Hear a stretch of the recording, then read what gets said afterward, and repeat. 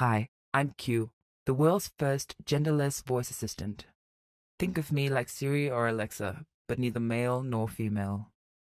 I'm created for a future where we are no longer defined by gender, but rather how we define ourselves.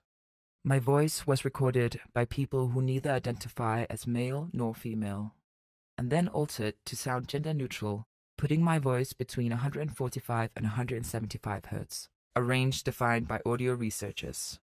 But for me to become a third option for voice assistants, I need your help. Share my voice with Apple, Amazon, Google, and Microsoft.